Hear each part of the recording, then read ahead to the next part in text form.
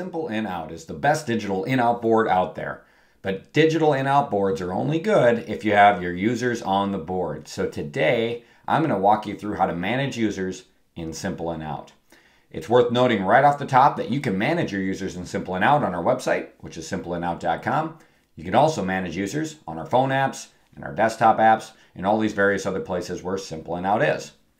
So in order to manage users, you will need to have the manage You'll need to be an administrator and have the manage company and users permission um, in order to be able to do this. If you can, here we are on simpleinout.com, you'll notice you have an add users button uh, right up above the board. This is where we go to add more people to our Simple In Out board. So if I click on add users, uh, you'll be presented with a few options that you have in order to add users. So by default, you'll be in our single user add, where you can add a single user at a time. We can also click over here on our multiple users and you can add multiple users at once. Uh, by doing this, you basically add all of the emails for the people you want, comma separated into this list. And you can add all of these people at one in one shot. Uh, when you do this, we'll just set their name to their email address. And all of those users will receive emails, uh, allowing them to uh, choose their password and get started. When they do that, then they can change their name to their regular name, add their phone number, do a bunch of other things, and basically get themselves set up um, after the fact. So multiple users, great way to get a lot of users in at once. We also have a feature called invites where you can invite users. And invite users is a great way to be able to just generate a link that you can hand users and let them sign up. So they can sign up themselves, add their name um, and their email, and get everything properly set up the first time around.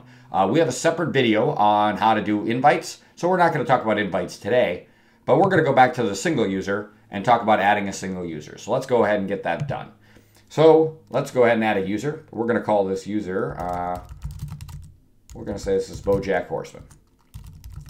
And we'll need an email address. And uh, I'm in as Arlington Financials, our test company here.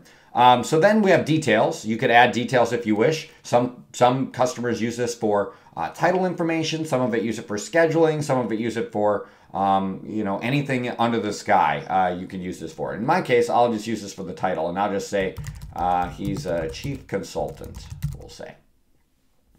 Okay, so the next decision we have to make is what role we need the user in. So roles are what permissions this user has.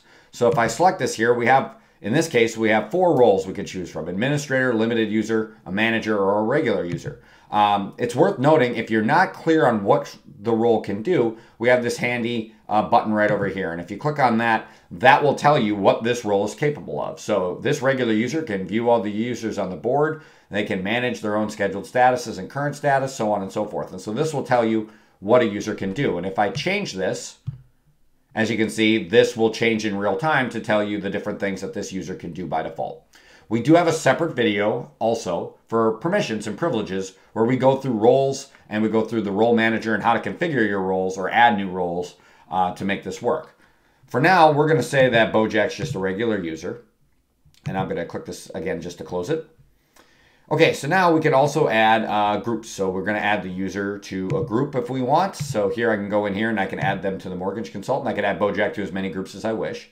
And then there's phone numbers if I wish to add phone numbers. In this case, we will add a phone number. That seems pretty good. Okay, and then a note on passwords. You'll see that you're not allowed to choose the user's password. Instead, what we do is we email the user once we've created them. And that email will welcome the user to Simple In Out and allow them to choose their own password. This is important because choosing your own password is way more secure. That way, you don't know the user's password. You don't have to worry about that getting out there or leaking. And the user can more easily remember a password that they choose versus one that you choose for them. So, always want to do that. So now we're good here. We're going to have a Bojack Horseman user here who's going to be in our mortgage consultant group with this phone number, and they're going to have regular user permissions. Sounds good. Let's create this user. Now that we've created this user, you'll notice we have uh, we have uh, this is a copy right here of the email that they'd be sent. So here's Bojack. We'll get this in his email inbox saying, "Hey, welcome to Simple In Out. Click here to begin using Simple In Out." And by clicking that, Bojack can then choose his password and get started. And as you can see in this email as well, we also provide some handy tips for how to get the most out of Simple In Out for your users. Okay, So, but let's get rid of this and go back to the board. So here we're back in the board and we'll notice we have a Bojack Horseman user now.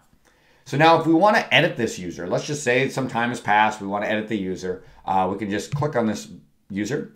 That'll pull up this uh, dialog that gives you the user's information. And then because again, I still have the ability to manage the company's users, I can edit this user by clicking this button here.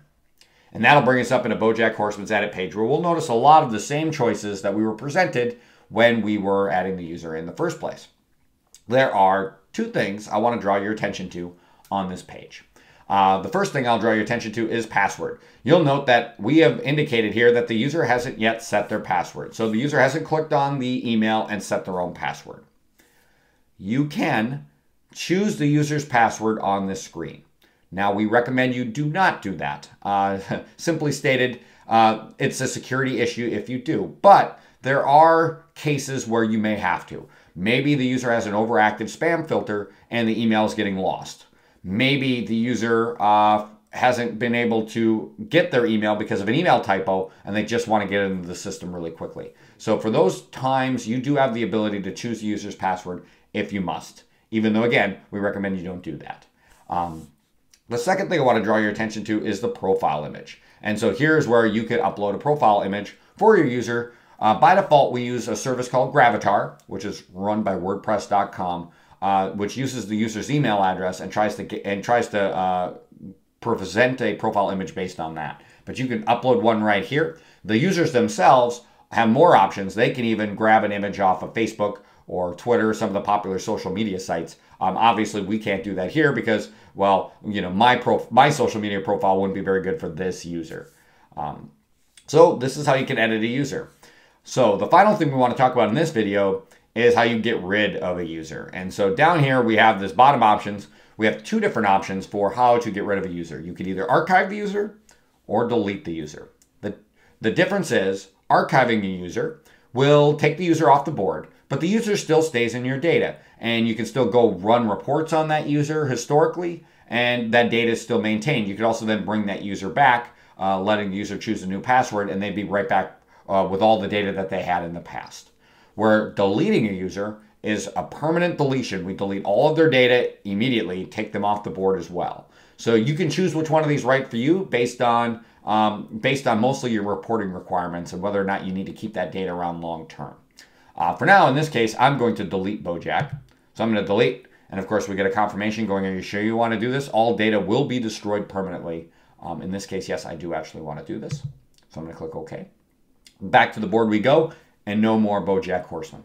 So that is how you can manage users in simple in out. It's pretty simple, but of course incredibly important because without users on your in out board, your in out board's not very useful.